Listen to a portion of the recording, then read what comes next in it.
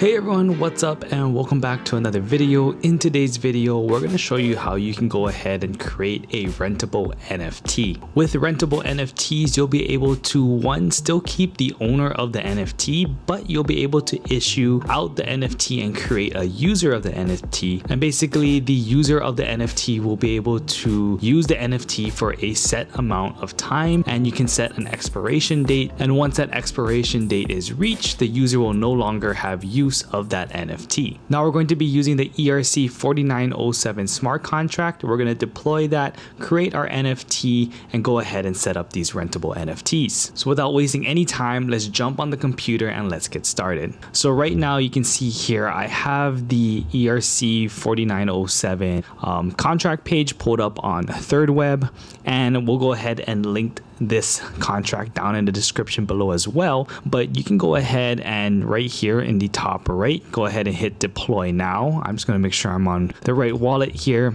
So we're going to go ahead and deploy. You can go ahead and name your contract. So we'll go ahead and name this uh, rentable.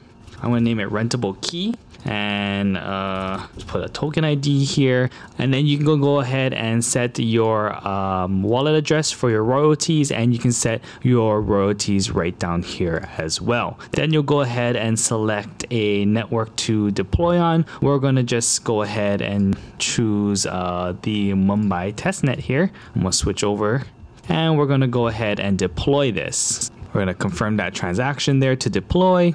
And then we're going to sign to just go ahead and add it to our thirdweb dashboard here. All right, once our contract has been deployed, it'll bring us to our contract dashboard we can see here um, under the Explorer tab, we can see all the write and read functions, and we'll go over those in just a bit when we go ahead and set up our first rentable NFT. Uh, but first, we need to go ahead and actually create an NFT so that we can go ahead and rent it out. So under our extensions here, under NFTs, we're gonna come on over and we're gonna mint an NFT. Uh, we're just gonna name this key, and I have some artwork here that I'm gonna put in for our key NFT. And I'm just going to go ahead and mint this one NFT here. We're going to go ahead and confirm the transaction once it pops up. And there we go. We have successfully minted our first NFT. Now the owner of the NFT is our wallet addressed here. You can see token ID zero. So we're going to, again, we're going to take a look back at the Explorer page here and we have some write functions here and we can actually one set the user of an NFT. So we can actually say token ID zero. We can set the user to a different wallet address and then we can go ahead and set the date and time in which the user will be able to have user access to that NFT. Now this expires is going to be in a Unix timestamp and if you do need a converter we'll drop one down in the description below but you can just come on over you can set uh, right here uh, the year the month the day and the time in which the user will no longer have access to uh, user access to the NFT so I'm just going to set this here for a few minutes so we're just gonna set this uh, for uh, today, which we are making this video. We're gonna set this time here. I'm gonna set it to uh, 15 and we'll set it for five minutes from now and then we'll go ahead and convert and then we just need to take this Unix timestamp here and we need to go ahead and set that right over here.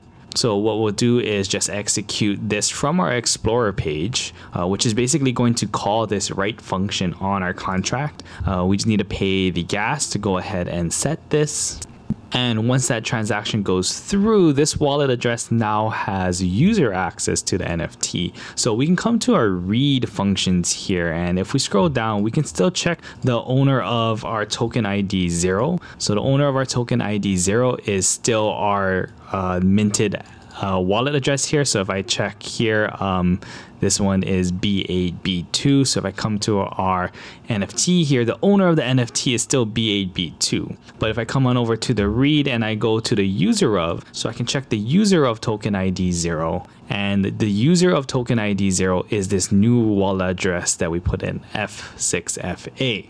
Now, once the time hits, uh, which is going to be a few minutes from now, this wallet address will no longer have use of the NFT. But how can we go ahead and use this, right? Let's take a look at an uh, app that I made really quick just to kind of showcase and show how this can be used It's just checking the user of and the owner of token ID 0 and depending on the addresses we're going to check it against the wallet address that is connected to our app and it'll display us certain message. So we take a look at our app here let me just refresh it real quick and you can see that uh, we are the owner of this NFT. Now I can switch over to the wallet address that is the has user access and you can see here that the owner is still our original wallet address, but this wallet address that I have connected has user access to this NFT. Now we'll wait until this wallet address no longer has user access and we'll refresh and take a look at this.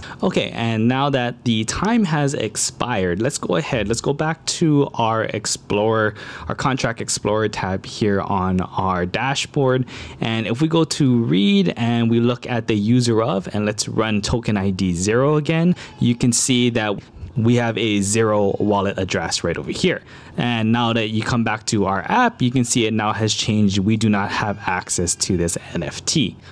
But we can go ahead and switch our wallet back to the owner of the NFT and you can see that we are the owner of this NFT still with this wallet address right over here. And there you go, you went ahead and created your very own rentable ERC 4907 smart contract and you see how you can now take advantage of using rentable NFTs and how we can go ahead and check the owner of and user of a certain NFT depending on their token ID number. Now you can go ahead and get creative with your own NFT projects. If you are creating something unique with this, go ahead, drop it down in the comments below and we would love to check it out. Now, if you did find some value in this video and you found it helpful, don't forget to give this video a thumbs up, hit that subscribe button, and don't forget to turn on the notification bell so you don't miss out on videos just like this. Now, if you have some questions or you need some support, go ahead, join our Discord, join the community of amazing builders just like yourself. And if you have any questions or you need any support on anything, we're happy to help you out there.